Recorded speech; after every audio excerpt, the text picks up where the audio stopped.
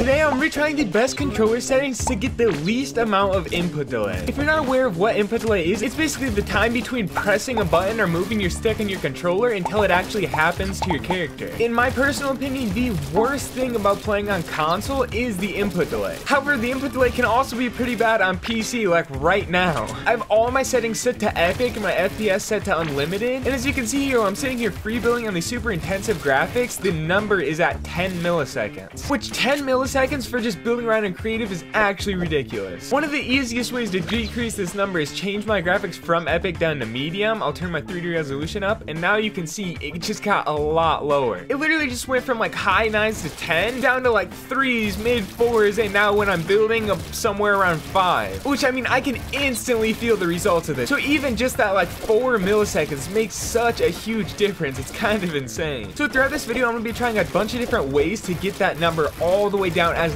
low as possible. We're gonna be trying the most optimal settings in Fortnite itself. We're gonna be overclocking the controller. We're gonna do a couple different things. So as always, if you're entertained or you find this video helpful, go ahead and drop a like on it. I appreciate it a ton. If you like the Fortnite controller content, then consider subscribing to the channel. All right, so obviously medium helped it a lot, but now we can change it down even lower and we can go all the way to low. And as you can see, now we're down, dipping into the threes even. And when I'm building here, I'm almost staying consistently at four. And I mean, just by my gameplay alone, you can probably tell that I definitely think that this feels a lot better. Obviously feels less delayed. It feels more responsive. It feels super good. And these are basically the lowest graphics that you can go on to still be on DX11. So the next best, easiest fix is to actually just go over to your controller configuration and change it from PS4 Xbox One to generic. So that'll change your icons down by your builds and weapons. Dang, that's actually kind of crazy. I literally didn't think that this was going to do anything, but it actually feels so good. Look at these edits. That's actually surprising. I can't really tell if it did anything to the number. I don't really think it did. But I mean, just building and editing, I definitely feel like that made a difference. So I think one of the biggest changes in getting this lower input delay is going to be changing off of DX11, which I'm currently on, and actually changing to performance mode. Now, I believe this is only something that PC players can do. I know old gen consoles can't do it, and I'm not sure what the new gen consoles like the PS5 can do, but I just reset my PC and look at that. We're literally down into the twos now. We started at 10 milliseconds at the beginning of this video. That's actually crazy how big of a difference this makes, and you can really tell the difference in like actually holding the controller and doing these edits and stuff. It feels so much less delayed. It feels so responsive. Oh, and everything is so consistent, dude. This is literally so nice. On the FPS too, we got like 700 FPS. So at this point, I've changed my controller layout. I've turned on performance mode. I've turned on low meshes. I've pretty much done everything I can possibly do in game. So the next step is actually going to be to overclock my controller. Now I've done this before, so I don't really know like the download links or anything. I'm sure you can just look it up, but I know how to do it for me. Basically, I gotta go through here and install some stuff to my controller, turn this to a thousand, install this again. Then when I plug in my controller, it shows up there. All the options are right. On yes, a thousand and one. So it's literally that easy. My controller is now overclocked. But now I am back in game and we're low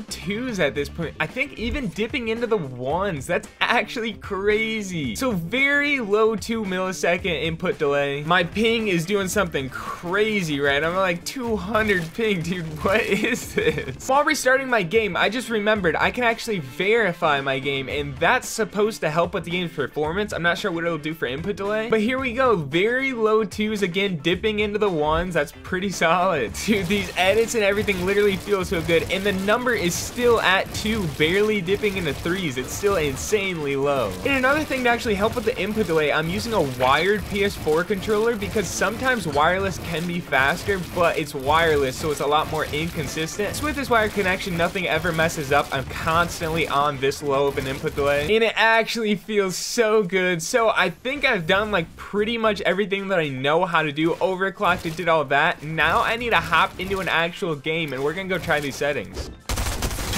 Oh, let's go, dude. That aim's super good as well. So obviously a creative island doesn't really have much going on, and that definitely brings down the input delay. So when I go into an actual game, it's a little bit higher. We're up into the like fives and sixes, maybe dipping into the sixes there.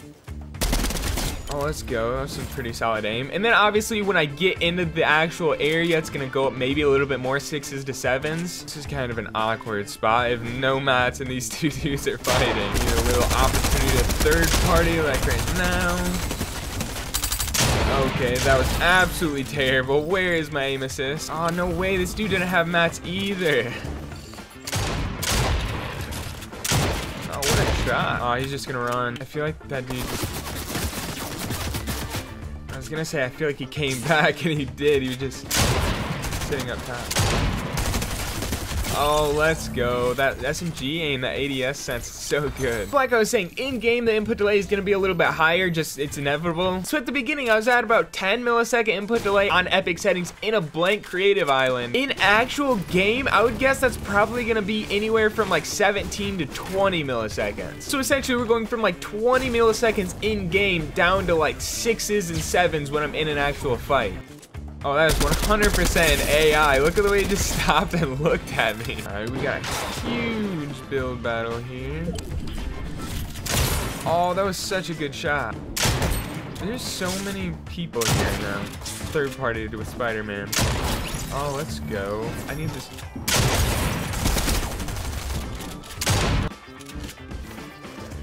Oh, let's go. That shot was so good, dude. I'm consistent with these shots right now. Oh, I didn't see dude's playing weird. I'm not sure what he's doing.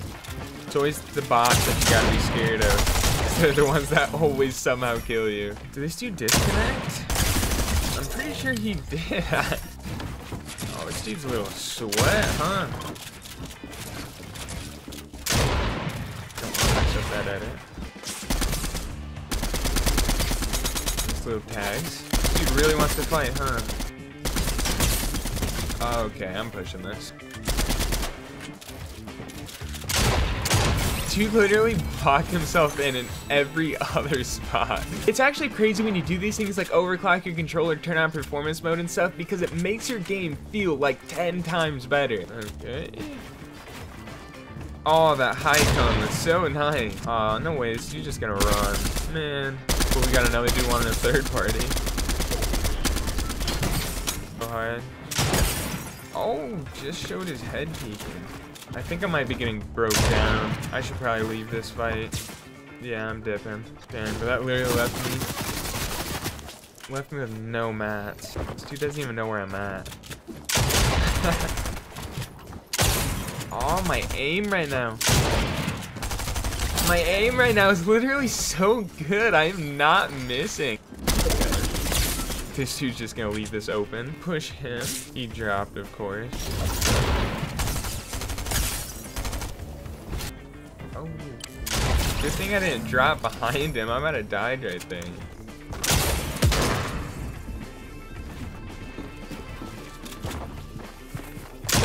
I didn't even see that he went out the side. Let's go. Little 13 Elim win. First game on with the lowest input delays. So those were the settings. They were pretty solid. If you have a PC, I definitely suggest trying these out. And if you don't, if you're on console, I'm not sure if there's really anything that you can do to improve your input delay. Hopefully this video was helpful. Hopefully you enjoyed it. And I hope to catch you guys in a future video.